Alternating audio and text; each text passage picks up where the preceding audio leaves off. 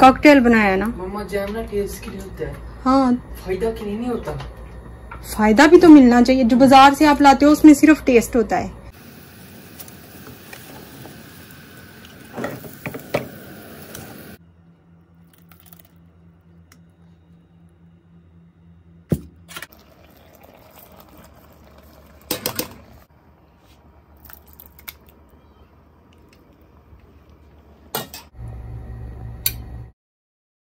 Watermelon का आ रहा है ज़्यादा स्ट्रॉबेरी का नहीं आ रहा। आपने वाटरमेलन के छिलके भी अंदर डाल दिए हैं है ना? चाहे एक साल भी रखेंगे ना ये जमेगा नहीं। टेस्ट भी खा के दिखाओ। बाद में। अभी देखो ना एक बाइट लो ये देखिए ठीक हो गया हुआ है काफ़ी हद तक। यारे वो बड़े भाई को बोलो आके वाटरमेलन ले लें अपना। ये वाला ये देखो ये लो। ये वाला और बड़े भाई को दे दो। ठीक है? ठीक बिस्मिल्लाहिर्रहमानिर्रहीम। अस्सलाम वालेकुम कैसे हैं आप सब? मैं उम्मीद करती हूँ आप सब बिल्कुल ठीक होंगे। अल्लाह ताला हम सबको बहुत खुश रखे हर तरह की बीमारियों से परेशानियों से बचाए। आमीन सुमामीन और हम सब का ईमान सलामत रखे। असलात वसलाम या रसूल अल्लाह वाला अलिका व सहाबिका या हबीब अल्लाह अल्लाह ताला फ़लस्तीन के मुसलमानों की यह भी मदद फरमाए उन्हें फ़तह नसीब करें।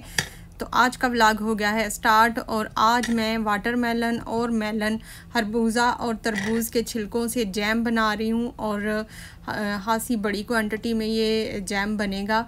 तो उसके लिए ये जो हम गर्मियों में आजकल रूटीन में खा ही रहे होते हैं खरबूजा और तरबूज तो उसके जो छिलके होते हैं, जो हम फेंक देते हैं, उसके साथ खासा ज़्यादा फ्रूट अभी लगा हुआ होता है, जो कि हमें फीका लग रहा होता है तो हम उसे खाते नहीं हैं, हम उसे डस्टबिन में फेंक देते हैं। तो उसको इस तरह, अच्छी तरह से उतार लें। ये वाटरमेलन के जो छिलके हैं, वो वाले हैं, और इसका सिर्फ़ जो ग्रीन बाहर का सख्त पार्ट होता है ना, वो हमें नहीं चाहिए। अंदर से जितना भी सॉफ्ट है ना, और ग्रीन ग्रीन थोड़ा होता है जो कि कद्दू जैसा लग रहा होता है, वो वाला हमें सारा चाहिए है। तो ये सारा इस तरह उतार लेते हैं। अब एक वाटर मेलन अगर एक दिन में हम खा रहे हैं तो उसके, हम फ़ौर तो उस टाइम ही हम जैम नहीं बना सकते। तो थोड़े थोड़े हम, मैं तो जितना हम खाते हैं ना तो इस तरह उसके छिलकों के उतार के ना तो मैं फ्रीज़ कर लेती हूँ। दो तीन काशें कभी खाई जा रही होती हैं, कभी आधा वाटरमेलन खाया जाता है। तो ये तकरीबन तीन चार वाटरमेलन के मैंने ना सारे छिलकों का उतार के इकट्ठा किया हुआ है, क्योंकि ये देखने में बहुत ज़्यादा लग रहा होता है कि ये बहुत ज़्यादा जैम बनेगा। लेकिन जब ये कुक होता है ना तो ये बहुत थोड़ा सा रह जाता है। अच्छा ये देखें, ये सारे मैंने छिलके उतार लिए हैं। ये तकरीबन आधा भी वाटरमेलन नहीं है। तो बस इतना खाया था तो इसके सारे उतार के और हरबूज़ा थोड़ा सा खाया था, जो कि पिछले व्लाग में आपसे शेयर किया था। ये मैंने कुछ फ्रीज़ भी किए हुए हैं, कुछ इसके अलावा भी हैं। तो आज अब जैम बनाने का मूड हुआ है तो जैम बनाने लगी हूँ। वो आपके साथ शेयर करती हूँ कि कैसे बनाना है। सबसे पहले आप सबको नया साल मुबारक हो। मुहर्रम हराम शुरू हो गया है। तो मेरी सारी सिस्टर्स को नया साल बहुत ज़्यादा मुबारक हो। अच्छा कहते हैं कि इस मुहर्रम में पहली मुहर्रम से लेके दस मुहर्रम तक अगर रोज़े रखें ना तो जिनके घर औलाद होने वाली होती है, जो प्रेग्नेंट वूमेन होती हैं, अगर वो रोज़ा रखें ये दस दिन का तो उनकी जो औलाद है ना, वो बहुत ज़्यादा नेक होती है। मैंने सुना हुआ है, लेकिन तब तक मेरे बच्चे हो गए हुए थे। मैंने उसके बाद ये बात सुनी थी तो शायद मैं पहले सुनती तो मैं ज़रूर रखती। तो अगर कोई प्रेग्नेंट मेरी सिस्टर देख रही हैं तो अगर वो रख सकती हैं तो वो ज़रूर रखें। अल्लाह ताला आपको नेक उलाद अता करें। वैसे हम तो नौ और दस मुहर्रम का रोज़ा इन हम सब ज़रूर रखेंगे, आप भी और मैं भी। तो ये मेरे पास चेरीज़ भी पड़ी हुई थी तो उनको मैंने अच्छी तरह धो लिया है और ये देखें इसके अंदर ना गुटली होती है, उसको निकालना है। अब छुरी से नहीं इसको उतार सकते क्योंकि बहुत टाइम लग जाएगा तो इसलिए मैंने सोचा कि मैं इसे ग्रैंड कर लेती हूँ, जैसे हम फालसे को ग्रैंड करते हैं। ये तो मुझे फालसे की बड़ी बहन लगती है, मोटी बहन। फालसा छोटा होता है, ये थोड़ा सा उससे बड़ा होता है। टेस्ट जो है ना, फालसे का खट्टा ज़्यादा होता है, इसका इतना खट्टा नहीं होता, लेकिन ये खट्टा मीठा होता है। लेकिन लगते ये मुझे रिश्तेदार ही हैं दोनों। अच्छा ये मेरे पास पड़ा हुआ था तो जो मीठा मीठा था वो बच्चों ने खा लिया था। बाकी जो है ना, वो थोड़ा इन्हें खट्टा लग रहा था, टेस्ट अच्छा नहीं लग रहा था तो वो मैं, वो भी ना मैंने इसको कर लिया है, ग्रैंड। तो ये एक दफ़ा किया है, इसका सारा पल्प मैंने लेना है। अब गुटलियाँ तो इसकी हमने नहीं ले लेना तो इसलिए मैं इसको छान रही हूँ। तो ये देखें इसका कलर कितना प्यारा लग रहा है। इस टाइम तो प्यारा लग रहा है, बाद में इसका कलर अजीब सा हो गया था। ये देखें इस तरह इसका सारा पल्प जो है ना, वो निकल आएगा। तो ये एक दफ़ा तो इसको ग्रैंड किया था, लेकिन अभी मुझे लग रहा है कि इसके अंदर अभी और पल्प है तो मैं इसको एक दफ़ा और ग्रैंड करूँगी। अगर आपको लगे कि अभी भी है तो फिर आप इसको एक दफ़ा और ग्रैंड कर लें, तीन दफ़ा कर लें। मैंने भी वैसे तीन दफ़ा ही किया है। चलें, एक दफ़ा दरूद पाक पढ़ लेते हैं। अल्लाह सल मोहम्मद वाला अली मोहम्मद, कमा सल्लता अला इब्राहीम वाला अली इब्राहीम इन्ना का हमीद मजीद। अल्लाह बारिक अला मोहम्मद वाला मोहम्मद, कमा बारकता अला इब्राहीम वाला अली इब्राहीम इन्ना का हमीद मजीद। अच्छा ये देखें, मैंने इसको ना तीनों दफ़ा मैं करके ना तो इसको छान ही रही हूँ। मैंने पहले आपसे बोला है कि अगर हम इसको छुरी के साथ कर लेते ना, इसका पल्प निकाल लेते, काट लेते इसको छुरी की तरह साथ और गुटली इसकी निकाल लेते तो उसमें टाइम ज़्यादा लगना था तो मुझे वैसे ये भी बेहतर ही लगा है, ऐसे भी ठीक है। तो ये सारा छन गया है और ये अभी भी मुझे लग रहा है कि अभी मैं इसको एक दफ़ा और ग्रैंड करूँगी। तो टोटल मैंने तीन दफ़ा किया तो बिल्कुल थोड़ा सा पानी यूज़ किया, बहुत ज़्यादा नहीं करना, क्योंकि जैम में पानी का कोई काम नहीं होता। जो फ्रूट्स होते हैं ना, उनका अपना ही वाटर होता है, उसको ही ड्राई करने में इतना टाइम लग जाता है। तो मेरे पास जो है ना वाटर के वाटर मेलन के छिलके थे तो उनके साथ मैंने सोचा मैं क्यों ना और भी बहुत सारे जो भी कुछ फ्रूट मैं अफोर्ड कर सकती हूँ, वो भी मैं इसमें ऐड करूँ। चेरीज तो घर में ही थी। अच्छा इसका ये होता है कि आपको कोई भी फ्रूट जो ऐसे लगता है ना कि फीका है, खट्टा है, बच्चे शौक से खाते नहीं हैं तो आप उसको इस तरीके से बच्चों को खिला सकते हैं और वो खुश होकर खा भी लेते हैं। जैम तो सारे बच्चे ही खा लेते हैं। और सुबह के टाइम वैसे भी मुरब्बा खाएँ, फ्रूट का तो बड़ा हेल्दी काउंट होता है। तो ये भी एक तरह का मुरब्बा ही होता है।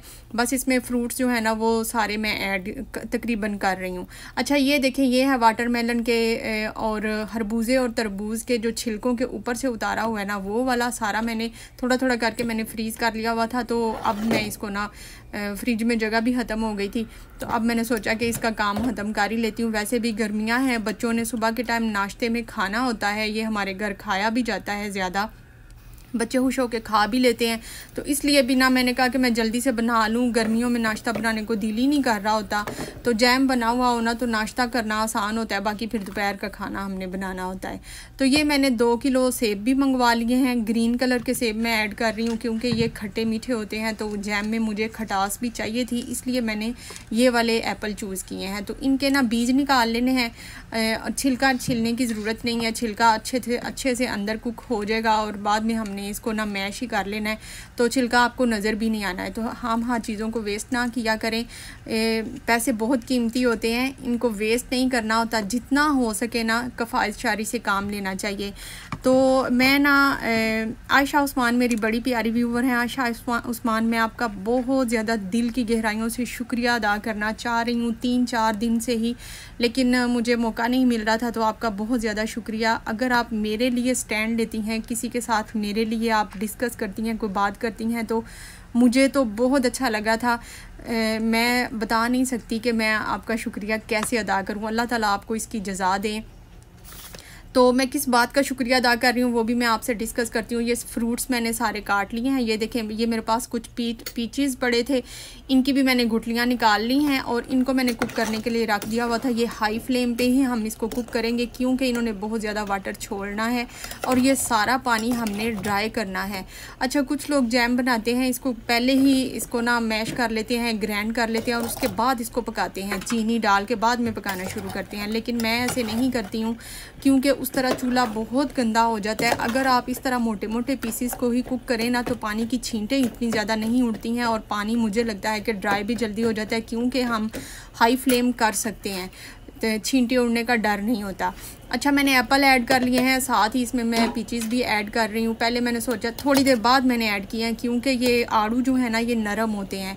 तो पहले मैंने सोचा कि जो सख्त फ्रूट है ना, वो उनको मैं पका लेती हूँ, सेब भी साथ ही पक जाएँगे और पानी भी खुश्क हो जाएगा। और ये देखें, अभी तक ये कुक हो रहे हैं। तकरीबन इसको आधे घंटे से ज़्यादा टाइम हो गया और सेब देखें फ़ौर ही सॉफ्ट हो गया है। बाकी छिलका है, उसको हम बाद में मैश कर लेंगे, वो आपको बिल्कुल भी नज़र नहीं आना। अब इसका पानी मैं चाह रही हूँ कि टोटल ड्राई हो जाए, उसके बाद अगला प्रोसेस शुरू करते हैं। तो जब तक पानी ड्राई होना है ना, मैंने कुछ फ्रूट और भी काटने हैं, मेरे पास मैंगोज़ पड़े हैं तो उनको भी मैं काट लेती हूँ। वैसे इस सबको पकते हुए तकरीबन एक घंटा हो गया हाई फ्लेम पे पक रहा है और इसका मकसद इसका पानी ड्राई करना ही है। वैसे तो फ्रूट्स पकने में बहुत ज़्यादा टाइम लगता नहीं है। तो मेरी, ये मेरे पास थोड़ी सी फ्रोज़न स्ट्रॉबेरी पड़ी थी, ये भी मैंने इसमें ऐड कर दी है। अब आप सोच रहे होंगे कि सारे फ्रूट्स इकट्ठे भी तो इसमें ऐड करके तो उसको बॉयल किया जा सकता है, लेकिन मैं ऐसा क्यों नहीं कर रही हूँ? मैंने पहले जो सहत मुझे लग रहे थे ना, जैसे उसके वाटरमेलन का जो छिलके थे मैंने लिए वो, और उसके बाद मैंने इसमें एप्पल थोड़ी देर बाद डाला है, थोड़ी देर बाद मैंने इसमें पीचीज़ ऐड किए हैं, थोड़ी देर बाद मैंने इसमें स्ट्रॉबेरी ऐड की है, और अब थोड़े टाइम बाद जब वो स्ट्रॉबेरी भी थोड़ी सॉफ्ट हो गई है तो मैं इसमें मैंगो ऐड कर रही हूँ। तो ये मैं स्टेप बाय स्टेप इसलिए कर रही हूँ क्योंकि फ्रूट्स को हमने बहुत ज़्यादा कुक भी नहीं करना होता तो जो मुझे लग रहा है ना कि सॉफ्ट है फ्रूट उसको मैं बिल्कुल एंड पे लेके आ रही हूँ। और जो सख्त लग रहा था ना, उसको मैंने पहले ऐड किया है, क्योंकि जो नरम है कम अज़ कम, वो तो थोड़ा टाइम कुक हो ना जैसे ये मैंगो है, इसको तो बहुत ज़्यादा पकाने की ज़रूरत ही नहीं है स्ट्रॉबेरी को भी। अच्छा ये है वो सारे कैरीज़ को ग्रैंड किया था ना, ये सारी मैं इनको मैंने एंड पे डाला है, क्योंकि अब इनको बहुत ज़्यादा पकाने की ज़रूरत नहीं है। तो बस जो है ना चेरीज़ के अंदर भी वाटर था। अब मकसद सिर्फ़ पानी को ड्राई करना ही है। तो इसलिए मैंने इनको एंड पे डाला है। तो आप भी जो नरम फ्रूट है उनको एंड पे ही रखें और जो सख्त वाले हैं ना उनको पहले डाल के उनका पानी ड्राई कर लें। तो इस तरह जो है ना फ्रूट्स के जो विटामिन हैं वो भी बस कोशिश ये कर रही हूँ कि कम से कम जलें।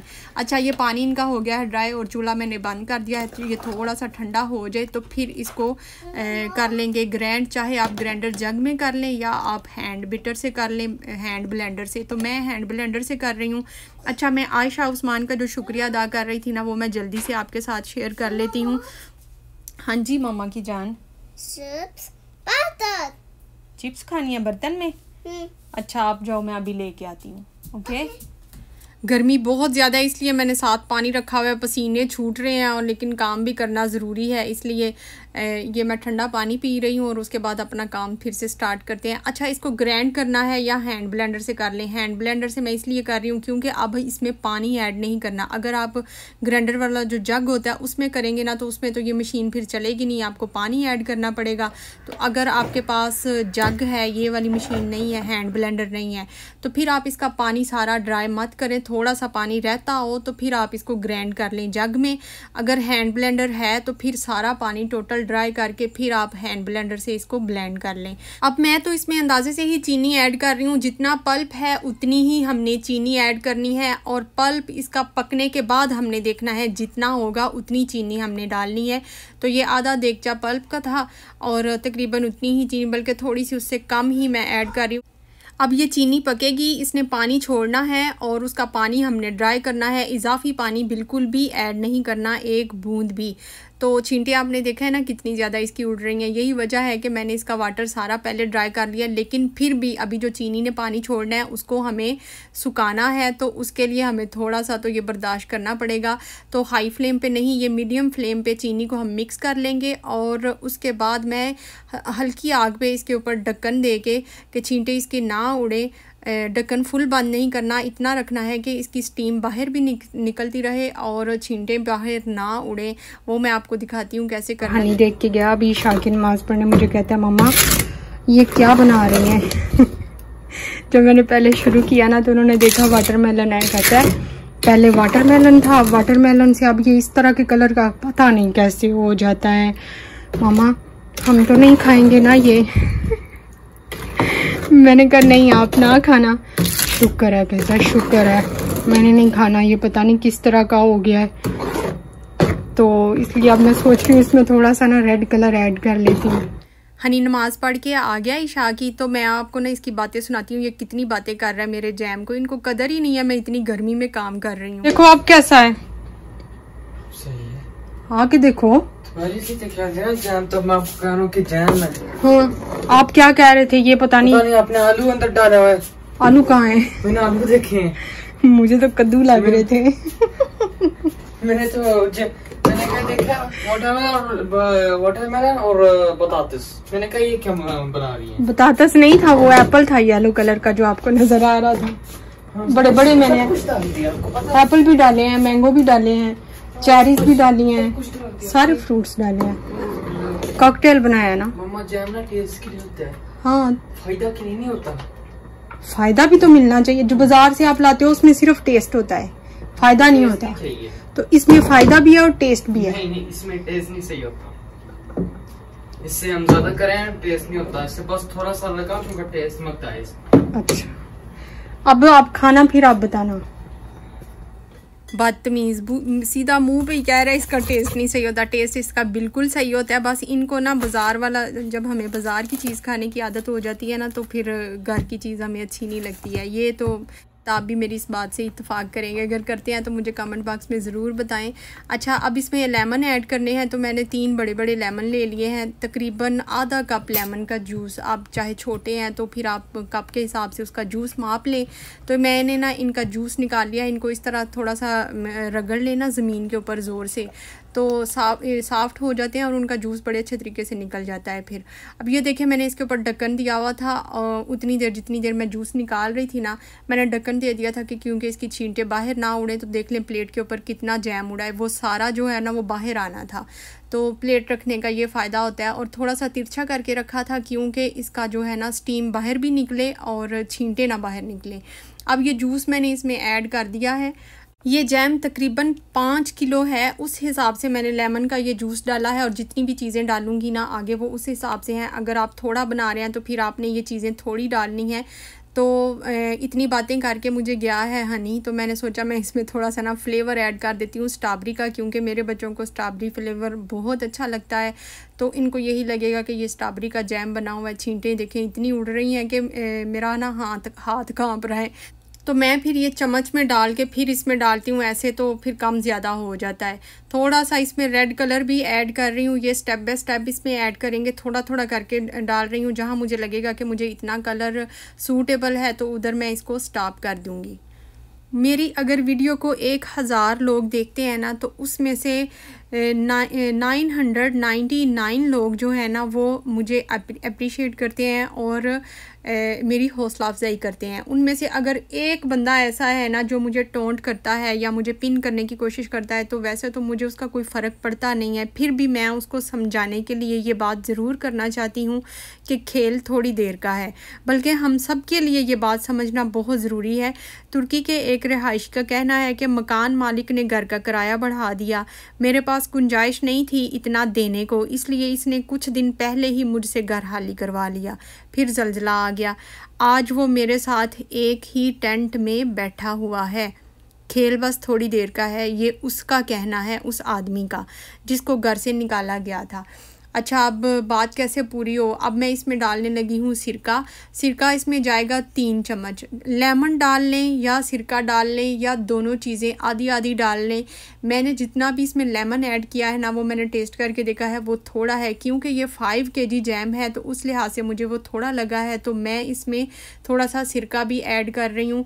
इन इन दोनों में से कोई भी एक चीज़ डालना बहुत ज़रूरी है कि अगर ये नहीं डालेंगे ना तो फिर एक तो इसकी लॉन्ग लाइफ नहीं होगी, दूसरा ये कि इसके अंदर ऊपर ना चीनी के क्रिस्टल बन जाते हैं तो उससे भी ये बचाता है लेमन या सिरका। अब मैंने इसमें एसन डाला है स्ट्रॉबेरी फ्लेवर, ये तकरीबन दो चम्मच इसमें ऐड किया है। ये बहुत ज़्यादा नहीं डालना होता, नहीं तो जैम कड़वा हो जाएगा तो जैम की क्वांटिटी के हिसाब से इसमें फ्लेवर भी ऐड होगा। तो मैं इसमें दो चम्मच ऐड कर रही हूँ। अब मैं इसको चेक कर रही हूँ कि ये पक गया है कि नहीं। तो ये देखें, अगर ये स्लिप हो रहा है ना तो इसका मतलब है अभी ये थोड़ा और पकेगा। तो जब ये स्लिप होना स्टॉप हो जाएगा, हम एक बर्तन में डालें, उसको थोड़ा ठंडा करके फिर चेक करना होता है। अभी ये बहुत गर्म है तो ये तो स्लिप हो गई। अब हनी ने मुझे बातें की हैं तो इसलिए मैं हनी को पास रख रही हूँ, क्योंकि इसकी सेटिस्फेक्शन हो कि ये जैम ही बन रहा है और किस तरह बन रहा है, इसको सारे मरहले जो है ना, उनका पता हो, इसलिए मैंने इसे पास ही खड़ा किया हुआ और इसकी सही शामत आई हुई है और इससे पूछ भी रही हूँ। अभी इसको मैं थोड़ा और पकाऊँगी, तकरीबन दस मिनट ये और पकेगा और फिर ये डन हो जाएगा। अच्छा जो मैंने ये किस्सा सुनाया है ना, ये उसी बात को जाके रिलेट कर रहा है जो आयशा उस्मान का मैंने शुक्रिया अदा किया है। तो आयशा को तो पता है कि मैं क्या बात कर रही हूँ, बाकी आप सबको नहीं पता होगा। मेरी एक व्यूवर है, मुझे सऊदी अरेबिया से ही देखती हैं।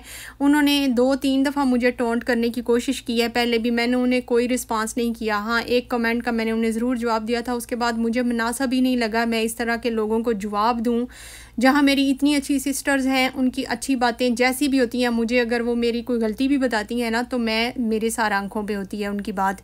लेकिन जो मुझे टोंट करेगा ना, वो मैं उसको इस काबल ही नहीं समझती कि मैं उसको बात का जवाब दूँ। इसलिए मैंने उनको कोई जवाब नहीं दिया, लेकिन ये मुझे ज़रूर, ज़रूरी लगा है कि मैं थोड़ा सा उनको समझाने की कोशिश करूँ।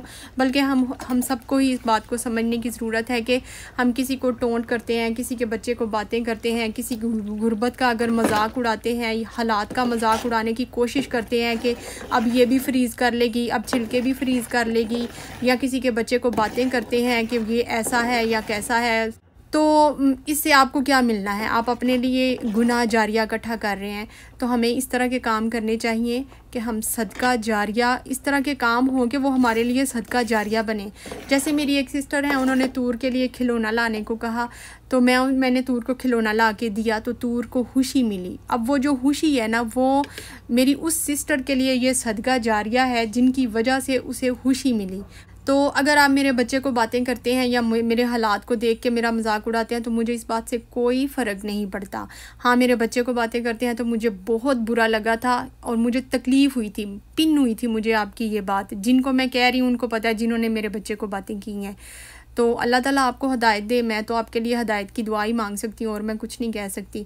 तो समझदार के लिए इशारा काफ़ी होता है। अगर आप समझदार हैं तो ये जो मैंने छोटा सा किस्सा सुनाया है ना, इससे आपको बहुत कुछ सीखने को मिलेगा। तो किसी का दिल कभी नहीं हमें दुखाना चाहिए, कोशिश यही करनी चाहिए कि हम किसी को खुशी दें। और अगर हम किसी को खुशी नहीं दे सकते तो फिर किसी को दुख भी ना दें। किसी के लिए अगर हम अच्छा नहीं कर सकते ना तो उसके लिए बुरा ना बोलें, ना बुरा सोचें। अच्छा ये सारा जैम जो है ना, मैं बाल्टियों में भर रही हूँ। बाल्टियाँ बिल्कुल ड्राई होनी चाहिए, सूखी हुई हों, साफ़ हों तो उनमें ये जैम डालें। एयर टाइट डिब्बा ही हो जाता है ये, और इसको आप फ्रिज में रखें या बाहर रखें, ये जैम बिल्कुल भी ख़राब नहीं होता। शीशे के जार में डालें तो ज़्यादा अच्छा है। लेकिन प्लास्टिक के में भी चलेगा। तो शीशे के जार में बस ये है कि उसका कलर और टेक्सचर जो है ना, वो बड़ा अच्छा लगता है। लुक उसकी बड़ी अच्छी लगती है। तो बस ये जैम जो है ना, इनको मैंने भर लिया है। ये तकरीबन पाँच के जी जैम बना है, माशाल्लाह। तो घर में सेटिस्फेक्शन है कि फ्रूट है ये सारा, कुछ भी आर्टिफिशियल इसमें नहीं है तो बस मैं इसको रख दूँगी फ्रिज में। तो बस ये था मेरा छोटा सा व्लाग मिलते हैं नेक्स्ट व्लाग में, तब तक के लिए टेक केयर एंड अल्लाह हाफिज़ मेरी वीडियो को लाइक करें कमेंट करें और मुझे ज़रूर बताएँ मेरा व्लाग आपको कैसा लगता है। जो मेरे चैनल पर नए हैं, वो मेरे चैनल को सब्सक्राइब भी कर दें।